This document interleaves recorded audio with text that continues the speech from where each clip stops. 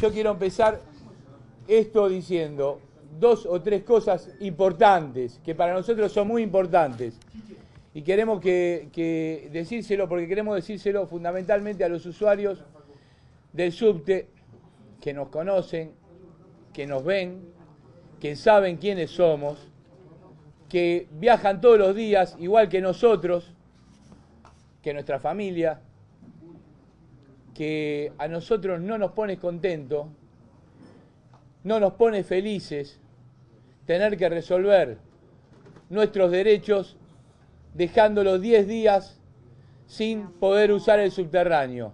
Por eso este conflicto fue un conflicto durísimo, desgraciadamente fue un conflicto durísimo, donde se nos acusaron inclusive de ir preso. Y dijimos, no le tenemos miedo, no le vamos a tener miedo.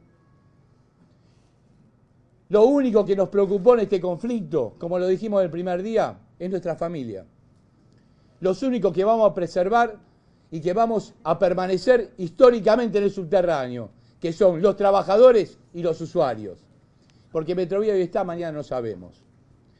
Porque el jefe de gobierno hoy está, mañana no sabemos. Pero los únicos que vamos a quedarnos siempre somos los que trabajamos ahí abajo. Por suerte, hoy pudimos llegar a un acuerdo. Un acuerdo que es un acuerdo transitorio en base a más o menos lo mismo que habíamos planteado ayer, que sabemos que acá no se termina el problema, que el problema continúa, que nuestro salario no está resuelto, que somos el único sindicato, los únicos trabajadores que hace ocho meses que no podemos terminar de resolver nuestro problema salarial cuando hay 1.500 paritarias cerradas en el país.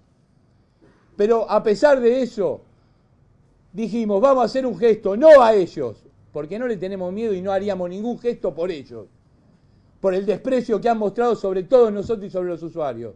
El gesto es fundamentalmente a los que vamos a estar siempre, a los usuarios y los trabajadores. El sindicato solamente ha suspendido la medida de fuerza en función de hacer un gesto explícito para generar las condiciones eh, para poder continuar la negociación de los otros puntos, porque todavía no se ha terminado la negociación salarial ni las de, ni la de las condiciones laborales incluidas en el petitorio que tiene este, este gremio. Así que se suspende la medida, pero se continúa negociando con la empresa.